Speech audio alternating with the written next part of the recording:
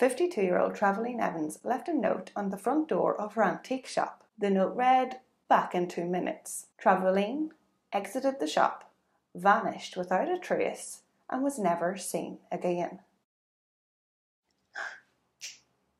I got my green screen back. Hey doll, this is a new name for me, Trevaline. I love it. Let's bring it back. If it left, maybe it's still relevant in Wales, but I may mispronounce it now and again. It's like, it's tricky. Trevaline. This was supposed to be a short, quick, easy episode for me to write, record, edit, and upload before I start work next week. But I got so carried away with this case. It is so interesting and uh, fascinating. A, a rabbit hole, like, um, I hope you enjoy. In the days leading up to her disappearance, Trevaline had been away with her husband Richard, a retired maintenance engineer. The couple were renovating their holiday bungalow where they planned to retire near the coast of Rud- Rud- Rhuddlan. Rhuddlan. Rhuddlan. On Wednesday, the 13th of June, Trevaline returned to the tiny village of Llangollen. I looked it up. I think I'm saying it right. A gorgeous little town of like 4,000 people where Trevaline had lived her whole life. Three days later, on Saturday, the 16th of June 1990, Trevaline parked her dark blue Ford Escort estate 200 yards away from her shop on Church Street. She opened Attic Antiques at the usual time of 9:30 a.m. She had started Attic Antiques only a year ago. It was a lovely sunny day and the town centre was bustling with Saturday shoppers. Over the next few hours, Trevaline had about 25 friends and customers like pop into the shop. According to her friends who had visited, Trevaline seemed relaxed, happy, and had even made plans to go out that night. However, at about 12:40 p.m., a smartly dressed man in a blazer was seen talking to Trevaline in Attic Antiques. Shortly afterwards, Trevaline left the note on the front door of her shop saying she would be back in two minutes. But Trevaline never returned. This smartly dressed blazer man has, to this day, and never came forward, never been identified, and never like traced or tracked. And it's not even known if he is involved in her disappearance. He could have just been a customer. During her last known movements leaving the shop, it is known that Trevaline bought an apple and a banana and was spotted crossing nearby Castle Street. A banana skin was found in a bin back in Attic Antiques. It is believed that she must have returned back to the shop after her purchase. However, without eyewitness or CCTV, this assumption has never been verified or concrete or confirmed. Trevaline's handbag, car keys, jacket, along with more fruit and flowers that she had supposedly, assumingly intended to take home at the end of the day, were also left in the shop. And her little blue Ford had remained parked where it had been all morning. The last confirmed sighting of Trevaline was about two hours later near her home on Market Street at 2:30 p.m. Also at this time, 2:30, her husband Richard was down in the local pub having drove back from Rudderston. After 2:30 there were two more unconfirmed suspected sightings of Trevaline. At 2:35 p.m., a woman matching Trevaline's description was seen walking out of town along the A5 towards Corwen, beside the Riverside car park. At 3:45 there was another potential sighting, this time of a woman walking into Park Avenue from the direction of the River Dee. At 11 p.m., Trevaline still hadn't returned home and Richard officially reported her missing. From what I have read, from what I have read online, people seem to think that this is too late to report your wife missing, to sound the alarm, but I totally disagree. Mostly people go missing for days before they are reported to the police. In my opinion, 11 pm is very soon, and especially in the 90s before mobile phones, people would just just go off all the time. Remember the one with the with the stowaway boys? They were gone for like two days before their parents noticed or didn't notice. Basically, he noticed after a few hours. I think that was pretty fast acting. So the investigation. Every household in Llangollen, as well as scores of people from further afield, were interviewed. More than 1,500 names were checked and 700 cars were inter- interviewed, eliminated from the inquiry. No money was ever taken from Trevaline's bank account, and it appeared she didn't have any on her when she vanished, possibly ruling out that she had just up and left, ran away, indicating to police that she was most likely abducted and murdered.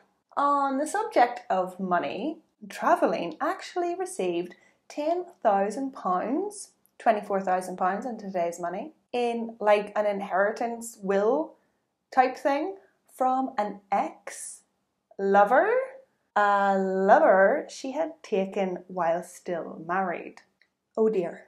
And yes, this information did make police suspicious of Richard. Was he jealous, angry, greedy, or all of the above? More on that later. One man, let's call him John, reported to police that on the day before Trevaline's disappearance, he saw a tall man with big, staring eyes acting strangely. The strange man walked up Market Street staring then just turned around and walked back up the street. The following morning, John saw the strange man again. John was going up the Horseshoe Pass. There was a camper van oddly parked on the verge of the grass, instead of using the lay-by on the opposite side. As John approached the van, the strange man he had seen the day before exited. It was definitely him, says John, as he was wearing the same clothes as the day before. John's third and final sighting of the strange man was on the day that had disappeared at 12:30 p.m. Around the time that Trevaline was buying fruit, John was driving back into town when he saw the same camper van parked at the Quicksave supermarket car park, a two minute walk from Trevaline's antique shop. John's description of the man bears a striking resemblance to serial killer Christopher Halliwell, who has been described as a master of disposing bodies. Could this be this smartly dressed blazer man, or someone completely different? Police did investigate this strange man, but they couldn't find anyone matching him or the camper van.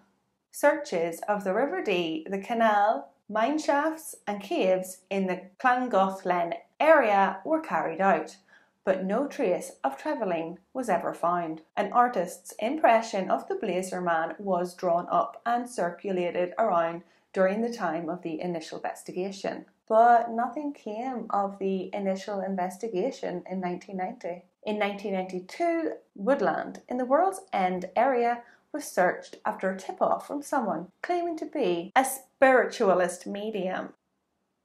Please. Nothing was found, obviously.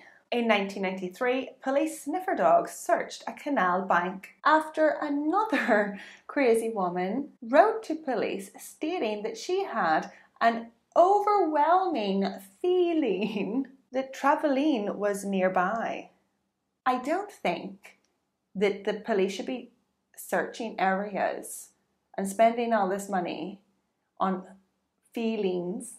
Are you kidding me? But then, wait, if this woman is a little bit crazy, maybe it is her way of confessing. But, like, so yeah, I suppose they do have to search just in case it's her way of letting them know what she's done. I wonder if mediums have ever been mediums have ever been killers. Stay tuned. Yet again, nothing. For Richard, his wife's case for years was cold. Until in January 2001, police reopened the case again in the hope new forensic techniques would suggest fresh evidence. And bam! Richard was arrested that June and later released without charge. Damn! But it is usually the husband The case was cold again for nine years. The case was re examined in 2010 on the 20th anniversary of Trevaline's disappearance. A year later, it was reported the police were looking into a possible connection between Trevaline's disappearance and convicted serial killer Robin Regis. Robin was given a life sentence for the murders of three men in 1994. It kind of seems like they're pulling at straws not the same MO. So, yeah, a few months later, the police ruled out Robin and the case was cold again. Tragically, Trevaline's only child, Richard Jr., died in 1999. He was a police sergeant in his early 30s and had tragically just had his own child. Trevaline's only grandchild, which she never met. Maybe as apparent sightings of Trevaline Evans alive and well have been reported in London, France, and even a remote town in Australia. But Trevaline's family were always convinced that she was not the type of woman who would just run off with a new man, which many people have speculated since she was unhappy and did have affairs in the past. Who was the Blazer man? The family also point out that Trevaline didn't seem to take anything with her and has never made any contact with family or friends, as far as they know.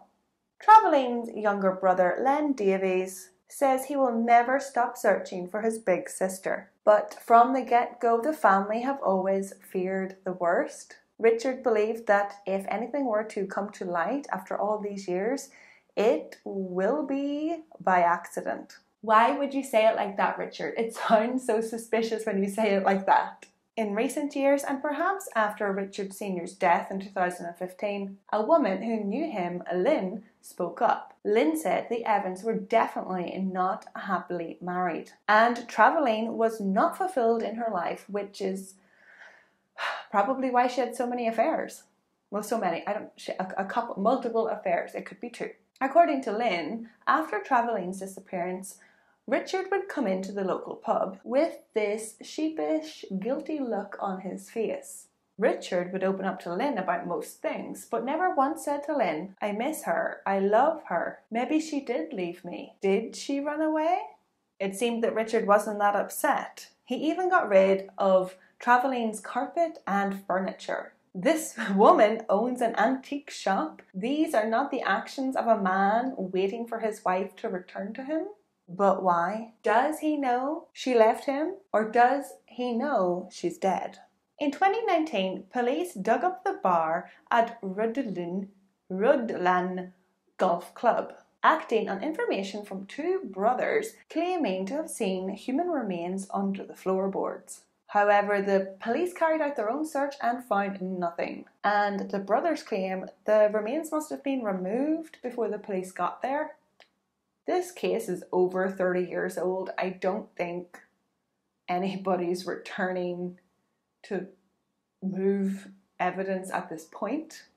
That's an illogical argument.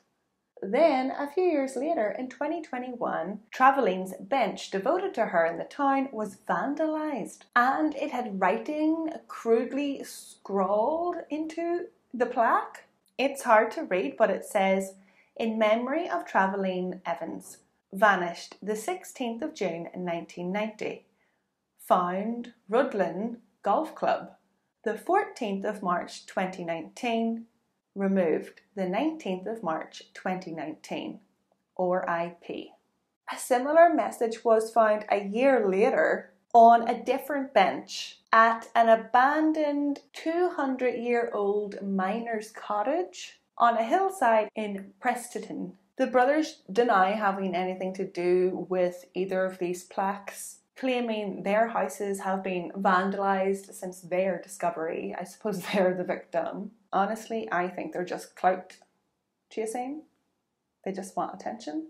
Conclusion Here are my unrequested, unwarranted, and irrelevant thoughts. I don't think that Richard Evans killed his wife Trevaline Evans. They were both seen at 2:30 p.m. and he reported her missing at 11 p.m. Assumingly, he also called friends and the hospital, and these calls all would have been verified by the police. There is no way on earth that Richard would have been able to kill his wife, hide her body, hide the murder weapon, destroy evidence, clean the scene of the crime, clean and check himself for marks, and make phone calls all within like what, seven ish hours? And this is also done after driving an hour from from one town to the next, then stopping in for a drink or more at the pub.